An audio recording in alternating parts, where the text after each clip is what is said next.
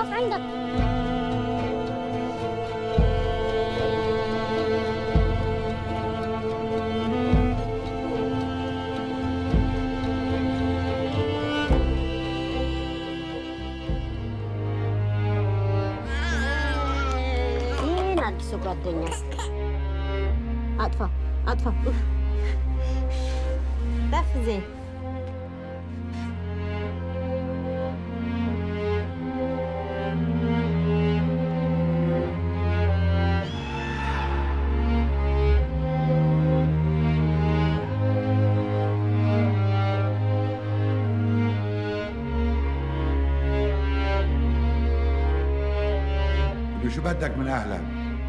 ما بقى بدي اياهم يخلفوا علي صوتك بس ما بقى بدي اياهم يخلفوا